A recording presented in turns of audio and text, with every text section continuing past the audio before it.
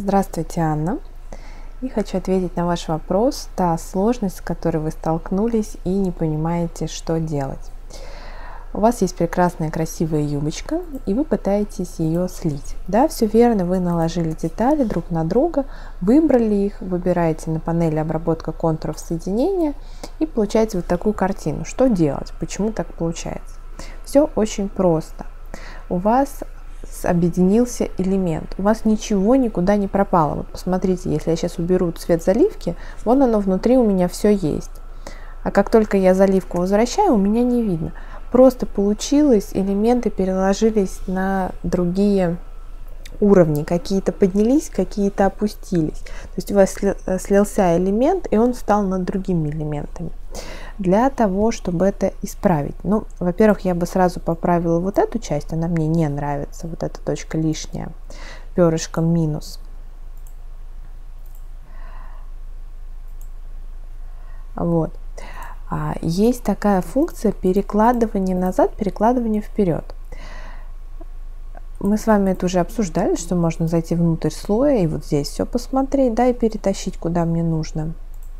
Либо же я могу правой кнопочкой мыши нажать на монтаж и, например, переложить назад. Это Ctrl и такая вот квадратная скобочка. Вот если я буду на клавиатуре сейчас нажимать Ctrl и вот эту квадратную скобочку, то мой вот этот объект будет планомерно уходить назад. И видите, ваши складочки, они появляются одна за одной. Все, они все появились, и у меня все стало на правильном уровне.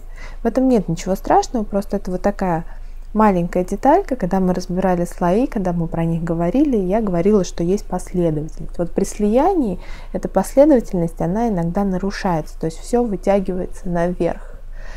И э, два объекта, которые слились, одна из частей подтянулась наверх и перекрыла то, что у вас уже было. Для того, чтобы это исправить, вам нужно просто-напросто опустить это по уровню. Еще раз, вы можете это сделать на панели слои, прямо вот здесь посмотреть, вот они все элементы, видите, она у вас находится в самом низу слоя. То, что мы сейчас сделали, вы можете взять и, например, рукой перетащить в какое-то место, да? либо же вы можете нажать на правую кнопочку мыши, выделить объект, правую кнопочку мыши, монтаж. И вот они у нас, можно переложить сразу на задний план слоя, на передний план слоя. Вот я прикладываю, видите, что получилось. Можно на задний план, а можно по шагам. Она будет их э, менять, а, ну, как бы делать над объектом, над объектом, над объектом, которые у нас вот здесь расположены.